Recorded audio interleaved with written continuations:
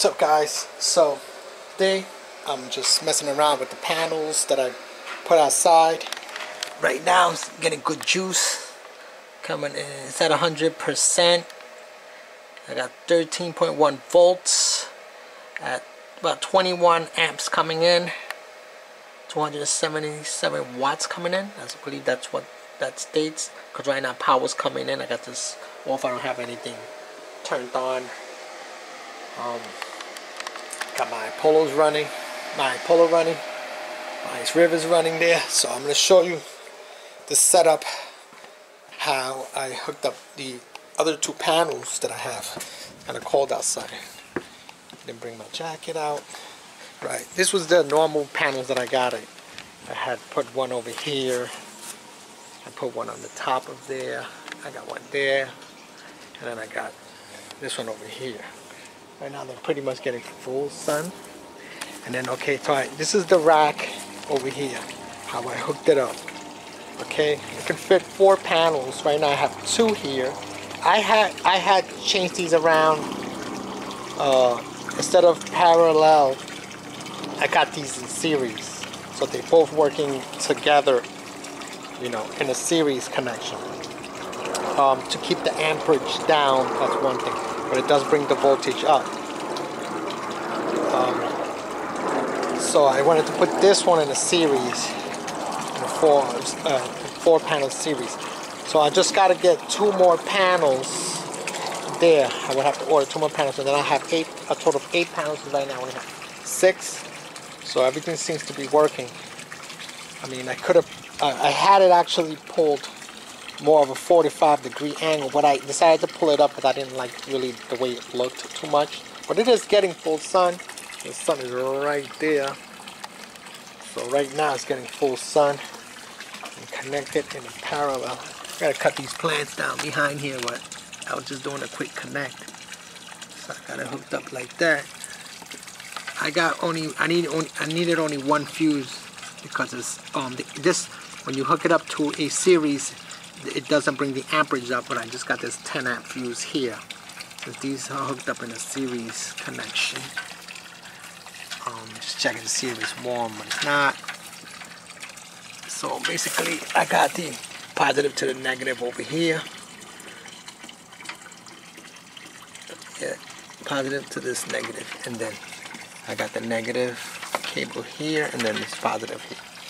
So that's how it's hooked up in a series connection yeah, two more panels I'm gonna get for this um, solar uh, rack here. And I just got these all like different directions as you see. This one is facing this way. As the sun comes this direction, it goes like that. then it goes right into this house. That's when I start losing power once it hits there. So that's why I kind of um, decided to go put it in this area here this entire thing. So when it goes into that area when it goes into the house over there it'll still give me more you know about maybe another hour or so of sun with these. So these will still be kicking in charging uh, the batteries. So I just kind of quickly just threw this around there like like a madman the wiring just to get it hooked up and yeah so this one would face that direction. I think this is yeah this is uh, east. And then once this go like I said to the house this one's gonna lose some lose its power Com not completely but a lot of the power. And I got this one facing the opposite direction. I got one facing that way. You know so about 1 p.m. these start to lose um, sun uh, but like I said, that, that one will still kick in, uh, be kicking on, you know, because it, um, that one still will be facing it. Unless I were to put maybe two more panels back here facing this direction, then that would get me all the way, you know, give me more sun way past you know the best place you know way past it would probably give me another hour or so maybe two hours you know but the best place to put it would be on top of my roof. But, um, you know, I'm not doing that. I'll just I'll just deal with it over here this way. Right now I'm testing to see that you know it could fully charge these five batteries that I have you know connected. But I am getting another battery. I got a sixth battery coming in. I'm, should get it sometime next week, maybe Tuesday, Wednesday, around there. I should get the sixth panel coming in. I still have that IceRiver KS0, the new one, the 200 um, uh, gigahash uh, on order. And I ordered it on the same day it was released. So, you know, hopefully I get that because I'm really, really want to get as much Kaspa as I can, you know. Um, I'm still mining Dogecoin with the um, iPollo. And still looking to buy other miners on a good deal, you know, grab a good deal. Get, and still getting rid of my uh, GPUs, you know. I just sell two motherboards, which I shipped them out yesterday. Two of the motherboards. I got rid of two more motherboards. Um, those are Intel motherboards, mining motherboards. I got rid of those. I only have one more left. And that one has a defect though. Um, I like almost completely got rid of. Except the two new Intel motherboards that I got. I'm gonna hold those because those had the GPUs. Uh, the 20. Those were on the 24 GPUs. I want to keep those. Um, those uh, motherboards. Um, but those hold like about 13 GPUs. So I, I want to hold on to those because you never know. But definitely, you know, uh, I'm gonna hold those. But yeah, so you know, I got this one here. It's like on the top of this cage the way it is.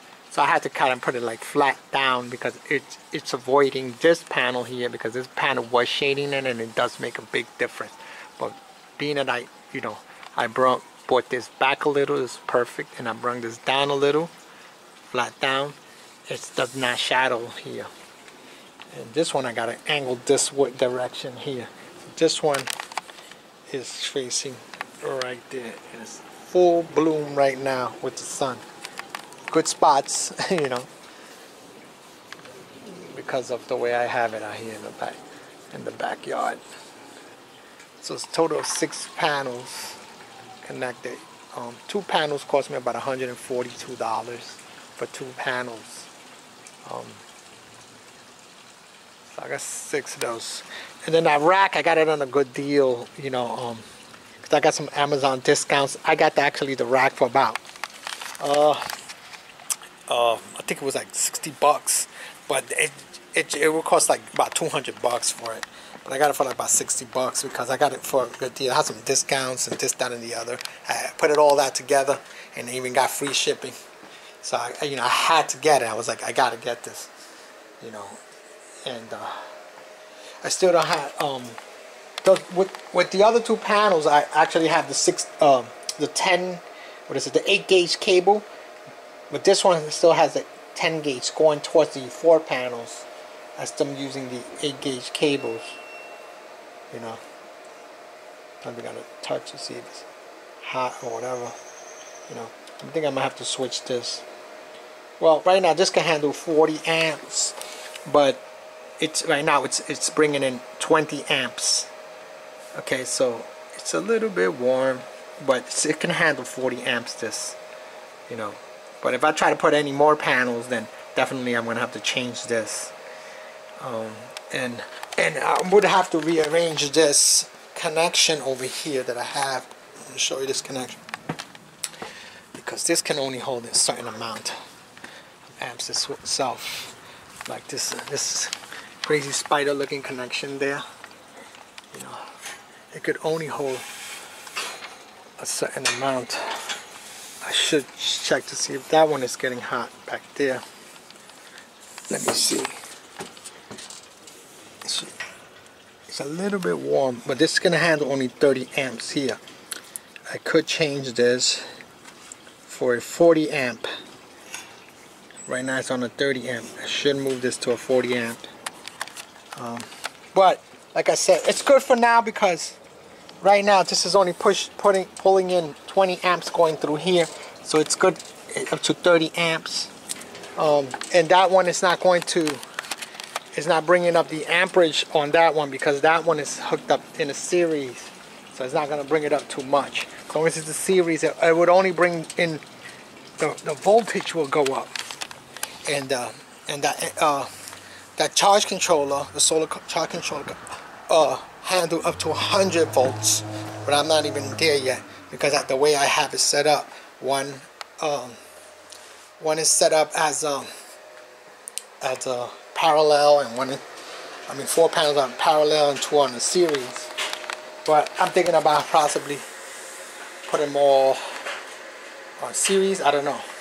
So I'm doing some other testing and stuff like that.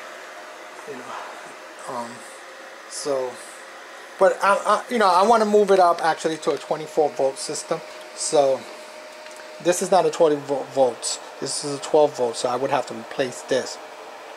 Um, one of the reasons is because I got this um, regulator that I can possibly just connect this to straight to that little regulator like I said before and then I can uh, bypass this I won't need this and I won't need a power supply okay so it won't have to convert it from from DC because the batteries are DC power to AC and then from AC to DC so that conversion there I'm losing I'm losing uh, energy.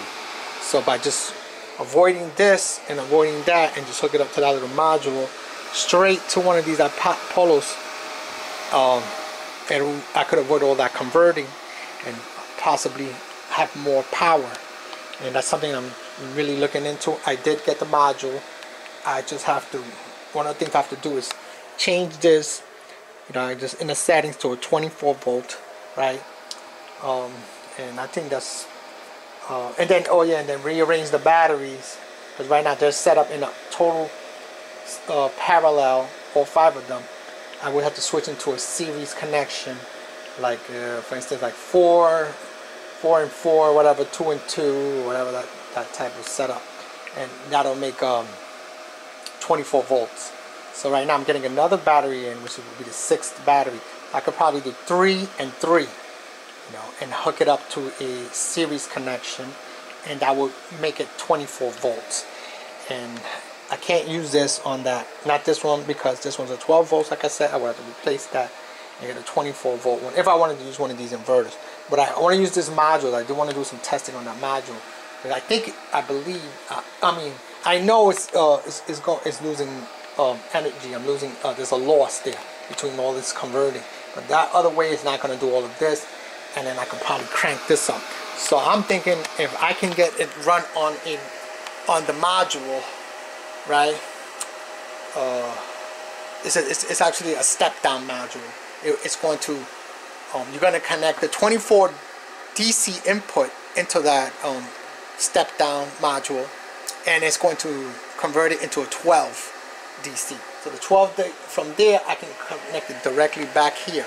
That will be one. And if that works good with a, and it gives me a lot, a lot of hours extra, then I can potentially put another, in theory, another module, have two. So each one will be connected to a module instead of one of these power supplies.